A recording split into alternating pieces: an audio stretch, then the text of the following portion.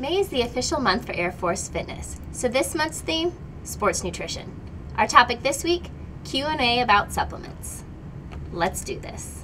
I'm Dani Lebovitz, a registered dietitian, nutritionist, and fitness enthusiast who loves to eat.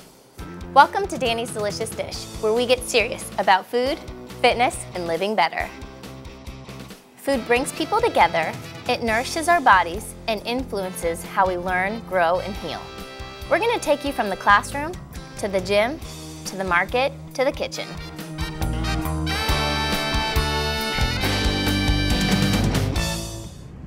I get questions all the time about supplements and ergogenic aids for exercise.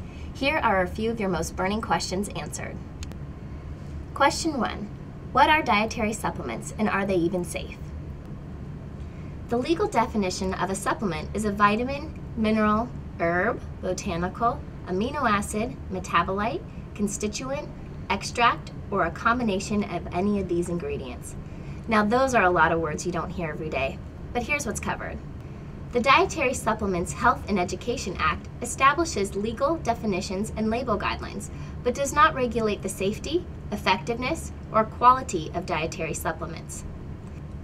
In addition, supplements are allowed to contain health claims such as calcium helps build strong bones, but not therapeutic claims that diagnose, prevent, or treat illnesses such as calcium restores bone loss.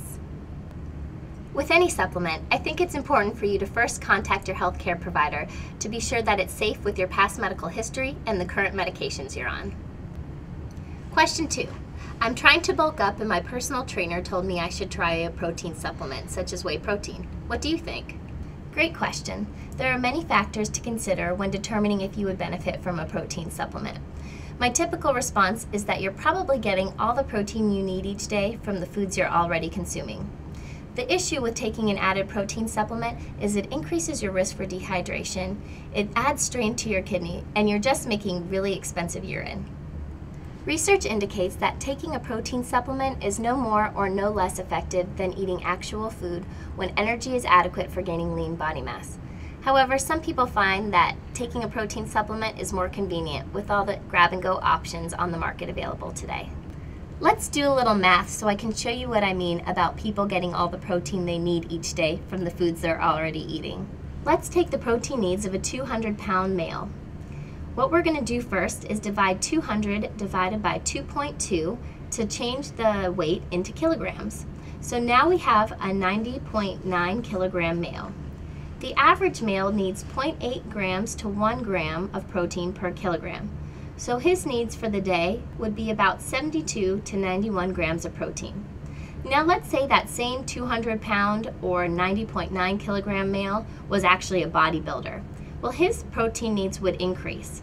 He needs about 1.4 to 1.7 grams per kilogram of protein each day.